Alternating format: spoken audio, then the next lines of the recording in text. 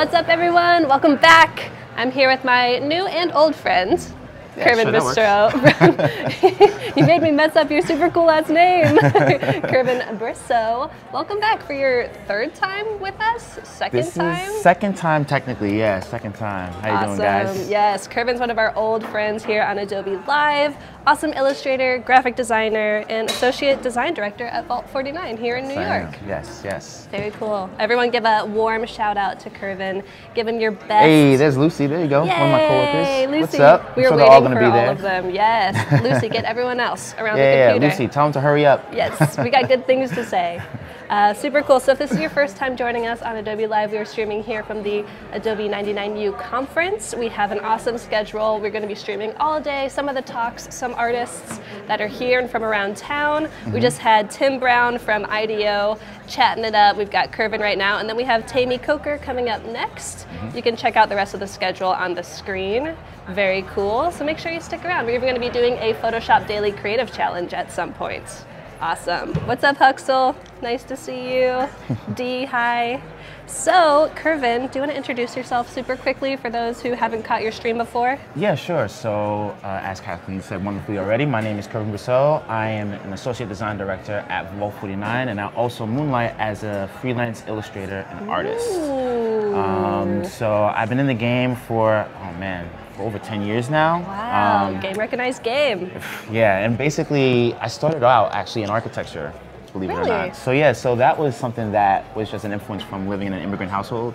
So I'm. Haitian American, so Uh-huh. it was kind of like a law to either become an engineer or an architect or a doctor. So Very interesting. yeah, so I chose architecture because it had like an element of design that I really liked, but then Mm-hmm. it also had the science and mathematical elements that my parents were leaning towards as well. Yeah. So We I did that for a long time, eight years. So four years at Catholic U, and then Mm-hmm. another four years in a master's at Syracuse U. Wow. Yeah. So always in New York. Um, well, Catholic is actually in DC. Oh. And then Look at me, went back to New. York. Yeah, yeah, that I was a good see. dance move. Thank Um, you. Yeah, Awesome. so, but besides that, um, after finishing my master's and spending some time in Europe as well, um, which was a very formative experience for me actually. I did. Yeah. that while completing my master's, maybe. I'm not going to show my age, but it was a while ago. yeah. And He's then, a master, uh, everyone. And then uh, I quickly like sort of discovered during my time there and in Syracuse in general that I really had a passion for illustration. Mm-hmm. And I actually landed my first freelance gig while studying um, with the client, um, which was pretty cool. Yeah. Um, it was a really cool, I think it was Axe body spray. How did that happen just randomly, quote Well. I launched the website.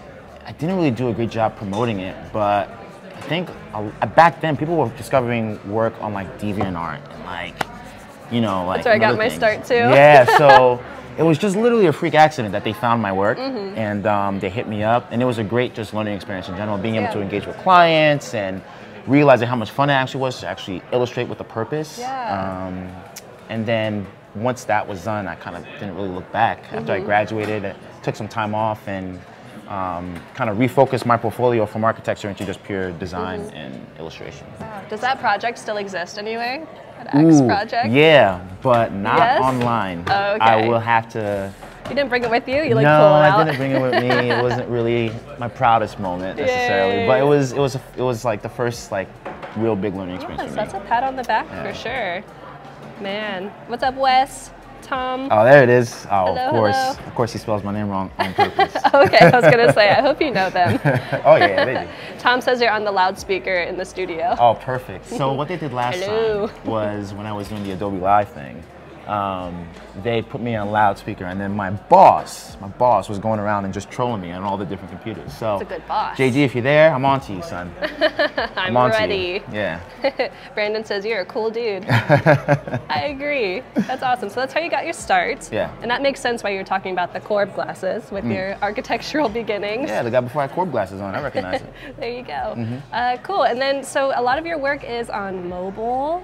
You do a lot of illustration, Mm-hmm. Yeah. uh, kind of desktop to mobile. How did you get started, even using an iPad? So, in all honesty, my serious introduction to the iPad was through Adobe.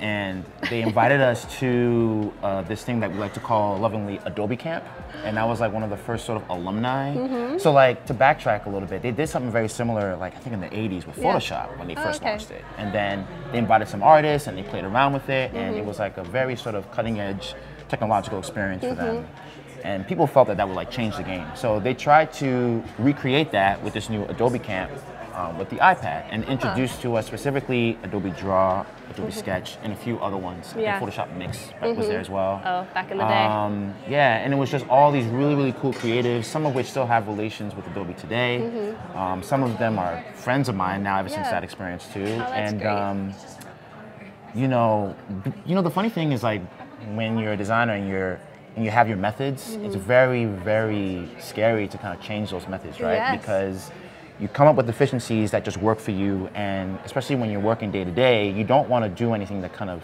like you don't want to break anything that, that isn't yes. broken. you know right? You and don't use brain it. power when you don't need to. Exactly. But what drew me back into the iPad when it was introduced to me was getting in touch with my roots of drawing again. Mm-hmm. So joining architecture and like practicing architecture and even going into digital illustration, I was very mouse heavy. Ah. And I was also eventually Wacom heavy as well, but still Mm-hmm. quite looking at a screen. There was like this separation. Almost felt like yeah, yeah. Felt like a video game in a way, you know, like kind of just trying to coordinate the, the cursor with the.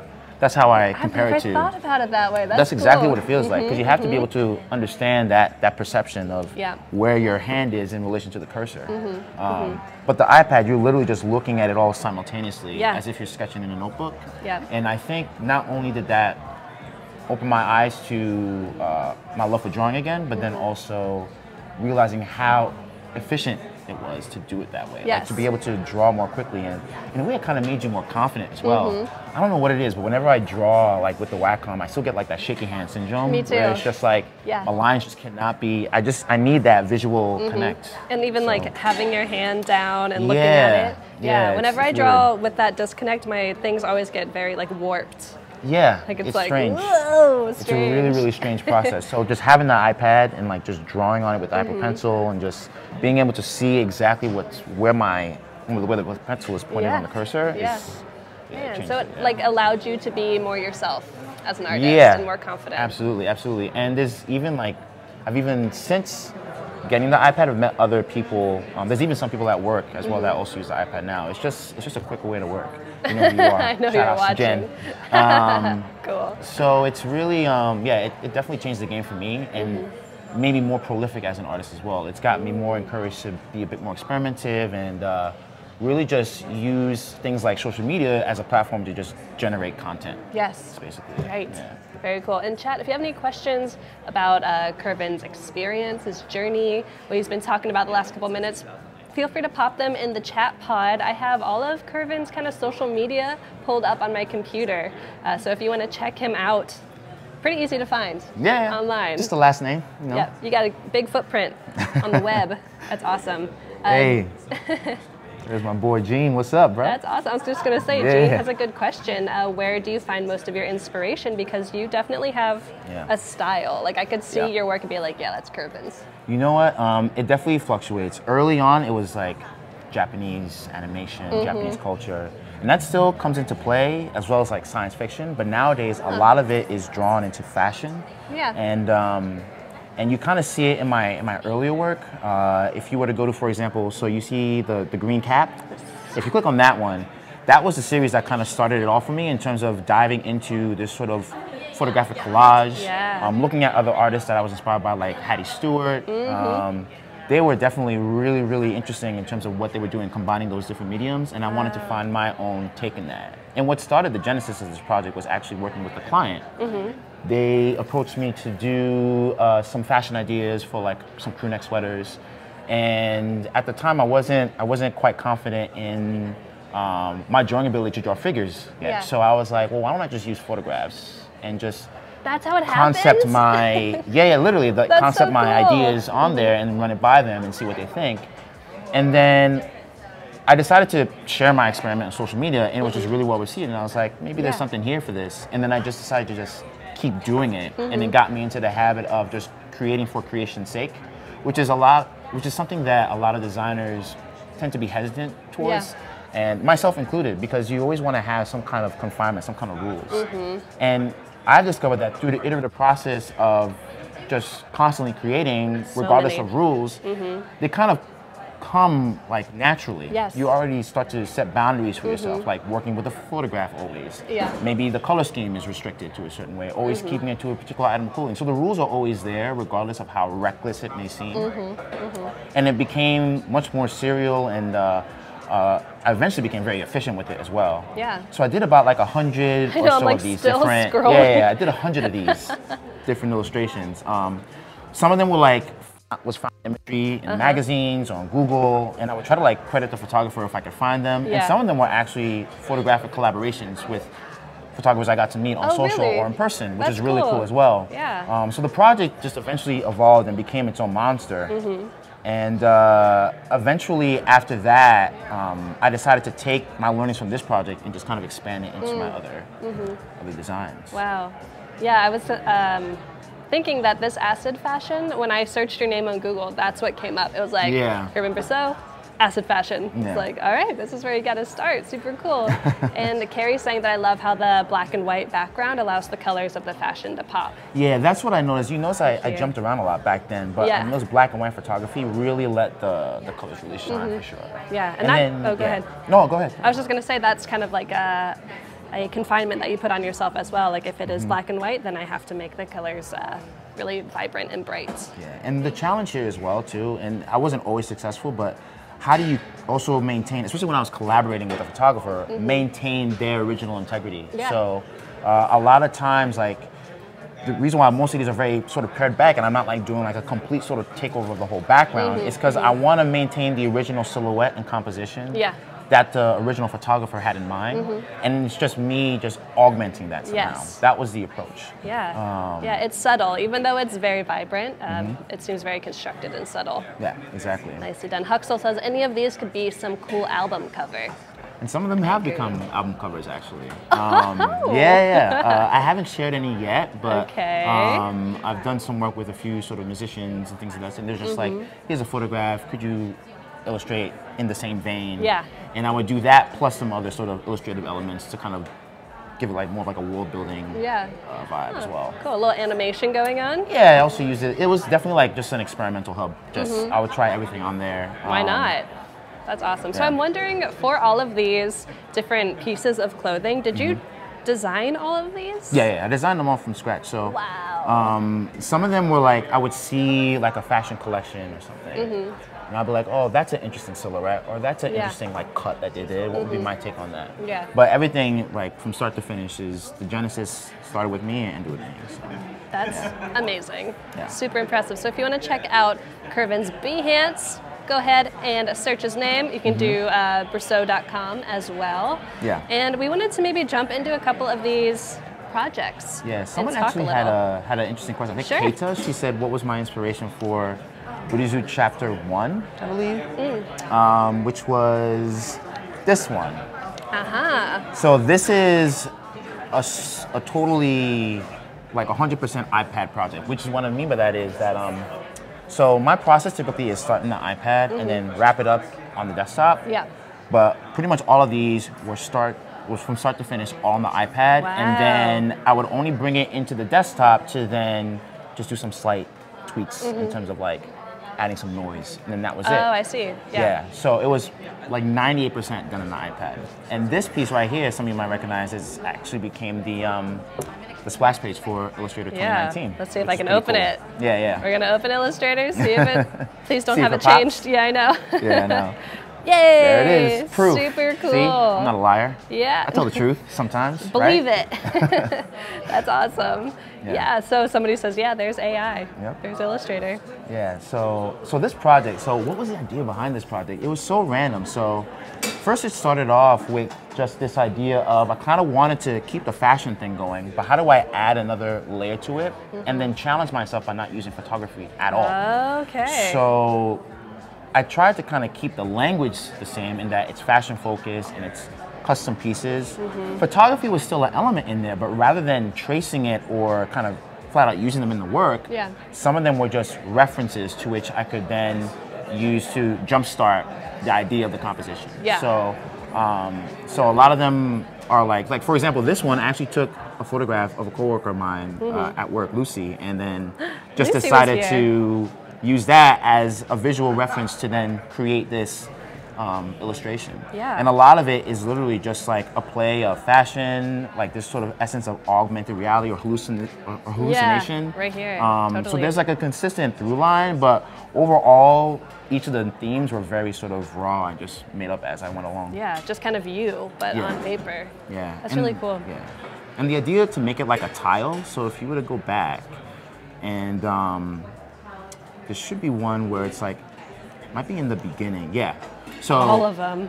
this actually was inspired by the fact that I wanted to use Instagram as a platform to feature this first and foremost. Okay. And so, and everyone was kind of doing this tiling game. So I was like, what would be my take on that? And I was kind of looking at, you know, stained glass references, things of that Ah, sort. So, not that this is religious by any means, but just the idea of organizing it in a way that kind of, um, comic books was another reference for Yeah. this too. Like kind of making it seem sequential, but Yes. then having this central panel that kind of anchored it and seemed a bit seamless around this generated theme. Yeah. Um, and 15, I think it's 15 panels. That that seemed like the right sort of number to kind of balance it out. And I am working on a second one actually, eventually. Ooh, I wonder if it'll be the same color palette, maybe a different one. Maybe a different one. I don't know. I'm trying, to, I'm trying to build my own hype now.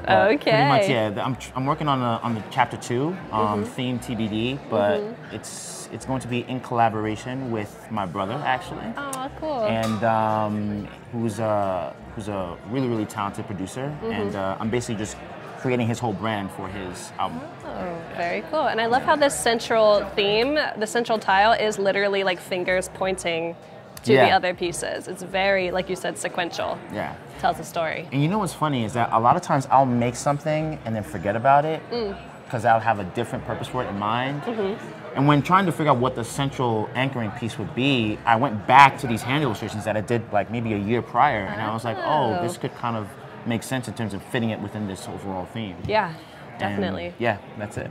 Ooh, Kita says chapter two should be blue. Maybe. Blue and orange go well. Maybe. Very well.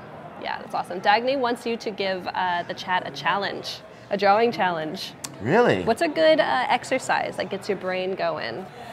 That's a good question. What is a good exercise? I mean, just just from like from a technical standpoint, I love watching online courses on YouTube and stuff like that, and just just learning from the greats. Mm-hmm. Yeah. Like a lot of the masters are just people you don't know, people who are just doing these courses day to day, teaching people Mm-hmm. how to draw. And um, a big change for me, for this piece in particular, like these pieces, um, was looking at I think his name is Steve Huston. Hope I got his name Mm-hmm. right. Who's uh, who's a very very talented uh, painter and figure drawer. And uh, I would look at his and things like that to then understand human anatomy, which is like something I'm trying to master now. Is Yeah. like understanding not just the face, but just like the human figure, and then eventually being able to compose my own compositions Yeah. in terms of stances and poses without needing photographic reference all the time to refer to. Yeah, how do you feel Um, like you're doing?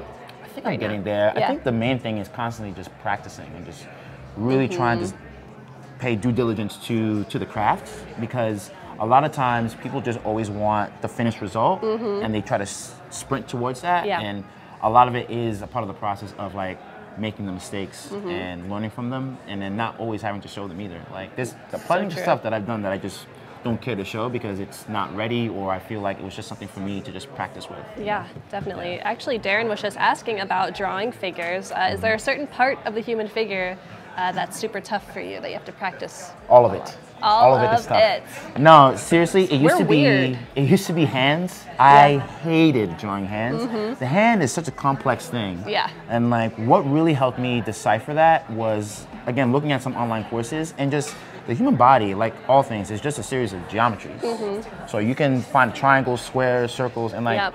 once you lay the skeleton down of any part that you are trying to illustrate, mm-hmm. regardless if it's like human, animal, furniture, like that bare bones is the most difficult part I've discovered. Once that looks right, then filling in the blanks, so to speak, becomes much, much easier. If you look at all the greats that do it, very few greats are actually like, I mean, they're geniuses, but they're just kind of drawing on the fly, um, something them with just ink. Yeah. But if you look at comic book artists, for example, or um, any any sort of like fine art illustrator, they'll like set a base. Like typically, like when someone sets up a face, they'll draw uh, an egg with like Yeah, the crosshairs, lines. And like Yep. literally that enough, if you can get that down right the first time, Mm-hmm. like usually the hard work is typically done, at least for me, because the skeleton is such a difficult thing to, Yeah. to grasp. Right. Not like the literal skeleton, but just literally the form in which case you want to compose. Yeah, we see it happening. Yeah. Kind of right here. Yeah, so like in some of these time lapses, um, you start to see that um, I try to lay down like key lines Mm, that'll mm-hmm. determine the clothing. So when I draw clothing on a figure, it's much easier because Yes. Mm-hmm. anatomy is more forgiving in them because you're covering all the parts that you don't really need to, to worry about. You just focus on the head and legs. So if you follow simple proportions, overall, it should come together quite easily. Mm-hmm. When it becomes more form-fitting stuff or like action poses, Yes. becomes very difficult. And I usually will need some sort of a photographic reference to Mm-hmm. kind of see um, where things need to be. Yeah. And what I used to do actually a lot of the time was back in the day, I would Frankenstein pieces together from different photographs Oh, to make your perfect. to make my right pose. And Mm-hmm. like, all right, that's the pose I want to do. And then I'll look at that and use that as a reference as well. So a lot of artists actually do that too. I. Mm-hmm. Totally. Yeah, I think there's something to be said about using references and how it's not a bad thing. Yeah. it's very good if you want things to look good and to learn. You need to look at things to learn how they look. Yeah. Totally. Jovanovich has not. That's an inside joke from. from Oh, really? I heard that they were going to be maybe causing a little bit of Yeah, trouble in the chat. As expected. As expected. As expected. Wouldn't expect anything less. That's awesome. Jessica says, I must be an old illustrator. I've never seen that. Oh, you've never seen the splash screen? You got to update, Jessica. See that Kervin work. Super cool. Carrie says, that's clever. Yeah, a lot of thought goes into this. Yeah, absolutely. Definitely. Um, so after British Zoo, I was like, what was the next thing? Mm-hmm. Besides chapter two, of course. so um, I've been doing a lot of collaborations with photographers. Mm-hmm, Um, so if you go to the Panther on the left, so that one was one I did with a guy named Wes Tarka, a really, really talented Mm-hmm. photographer who I think lives in Harlem. He lives in New York City. Ah. Originally from Harlem. Not originally, but living in Harlem. Uh-huh. And he did a photo shoot uh, with this really talented model. And we decided to just create this like sort of world around her, around her like attitude. Mm-hmm. Yeah. Um, and just came up with these three very distinct illustration styles. Um, and just had like a different way in to kind of shine her personality. Kind Mm-hmm. of, I had like a visceral response in terms of what she was doing in the photograph and how he captured her, and Yeah. then created this sort of um, illustration world around her. Yes. So some of it utilizes typography, some of it was just pure illustration. And yeah, again, you, you'll see some time lapses. This is again directly off the iPad, which is a great feature by the way. Literally, it's just remembering your whole history. I love it. You just hit share, create time lapse, and you're done. It's it's amazing. Yeah. So People love to see them. yeah, yeah it's a great thing it's super add. useful because I don't know. There's something about time lapses that adds a bit of sort of authenticity to to the um, to the work. I don't know. It's nice seeing like how things are created. Nice. Cool. It looks like we have a little bit of excitement happening behind us. It is chat and win time. Did you know Oh. we were going to do this? No, but is this I'm- a surprise? I'm excited. Yes. Let's do this. That's true. You've done Adobe Live before. You know what's Yeah. up. So if this is your first time, we are going to be giving away a very cool gift. It's going to be a Tattly sticker set, which is awesome. If you don't know Tattly, really cool temporary tattoos made by artists. Yes, we can see the whole collection over here. Mm-hmm. There's some nerdy artist stuff going on, some cool feathers. Awesome. So if you want to be entered to win, we're going to pick a random winner. And the way that you're going to enter is you're going to answer a question in chat. So is there anything that you'd like to know from the chat? Oh, interesting question. All right. Hmm. What would I like to know? See, now this is, this is where I wish I had prepared, time to ask a question. But, all right. So, Could be anything. um, what was one sort of? I'm assu- I'm hoping everyone on here is an artist or like has done art A to a certain degree. of some a creative sort. Mm-hmm. of some kind. Um, tell me one problem you came across and how did you try to resolve it? Ooh. Cool. We're going to learn from you.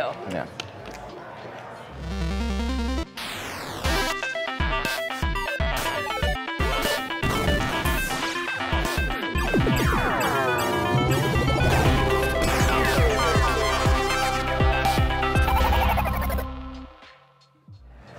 All right, who's our lucky winner going to be? We need to have your problems and your solutions in the chat. Everything's 4 3.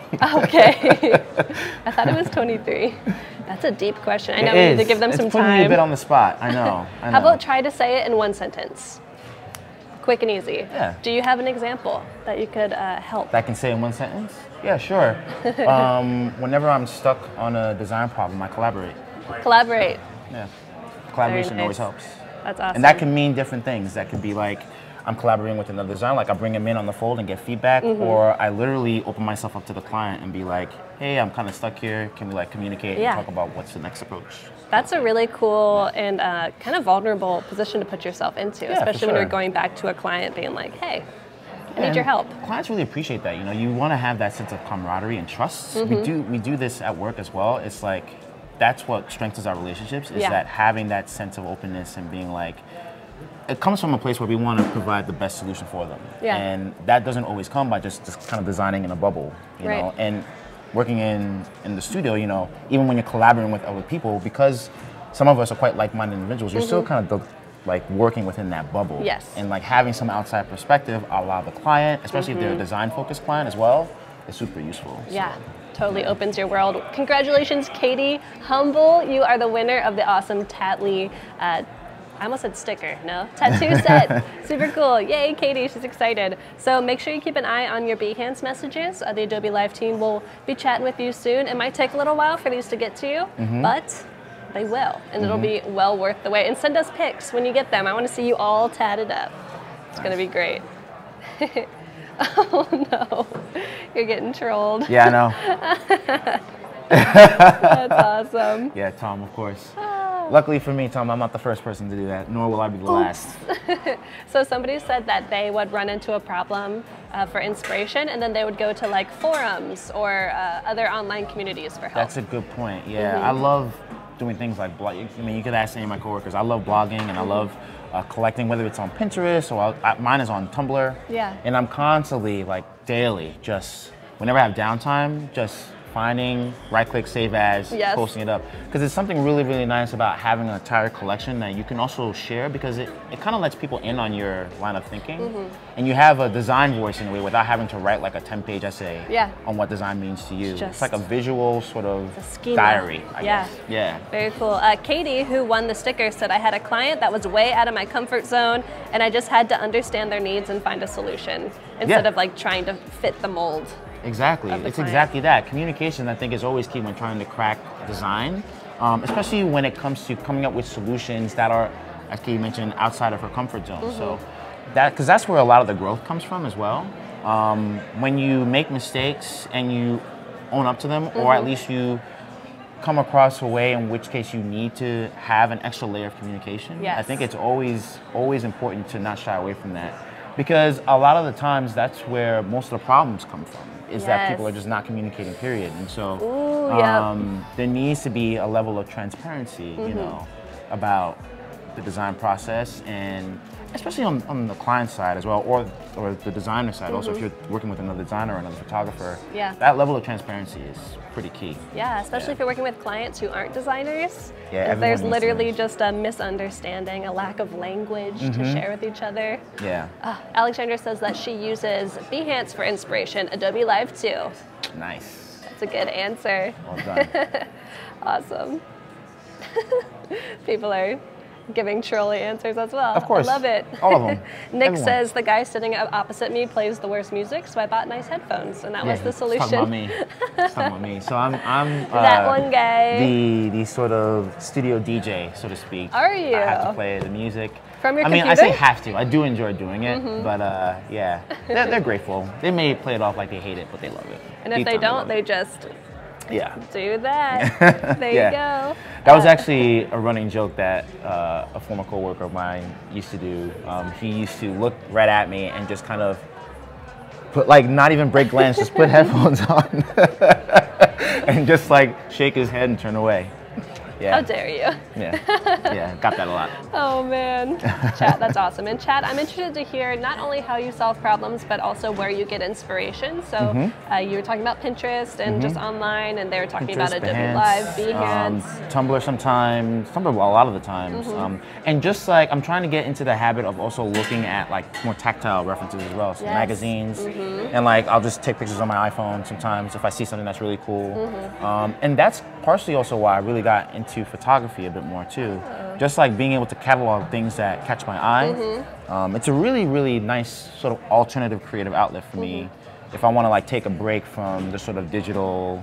Because like even when you're doing what you love to do every day, it does get monotonous because you're doing it every day. Yes. So having like a break and like just different hobbies, it definitely helps. Right, and we were talking actually before we went live about how uh, you kind of have to be a master of few, but kind of know a lot about a lot of things. Yeah, Being yeah. a content creator, um, how do you kind of balance that? How do you know when to, how far into a certain discipline that you need to go? Do you just learn on the fly? Well, the very first thing you have to ask yourself is, well, first of all, what are my interests? Yes. Secondly, what can I do, and am I okay with that? Yeah. Like, cause like you, it's it's not being like a quote unquote jack of all trades or like trying not to be siloed into anything. It's not necessarily about trying to do it all, but more about allowing yourself the opportunity to learn new things that can hopefully help um, enhance your craft. So.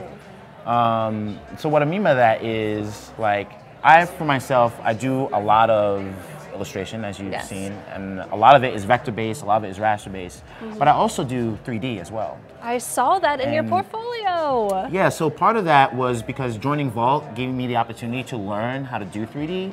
But then on top of that, I always it was always something that I wanted to do because I felt like it could just add another layer of texture to my work. Totally. um, and just like having that other skill set. So I'm by no means a master at 3D design like the rest of my coworkers, but at the same time, it's still a very very useful tool for me to Yeah. then have another creative outlet to generate ideas. Yes. And, and sometimes the two come together. So this was one piece that I did, um, which is I, I love sneakers. I'm a sneakerhead. Yeah. I think even more so since meeting certain people. you know who you are. um, and I just wanted to create like this sort of neon piece that kind of made 3D sculptures, and and the hope was to eventually maybe make this one mm-hmm, day. But you mm-hmm. know, neon sculptures are quite an arduous task, Yes. to say the least. Man, Yeah. I could imagine some uh, retailer wanting this to be like merchandising in their store. Yeah, exactly. That was a whole exactly career. that. Yeah, it's exactly that. It's like a whole other skill set Mm-hmm. that I haven't been, been able to focus in on right away. Yeah. But it's still something that I really, really enjoy doing. And then if you were to get out of that, there's another project that's very, very similar. Bloop.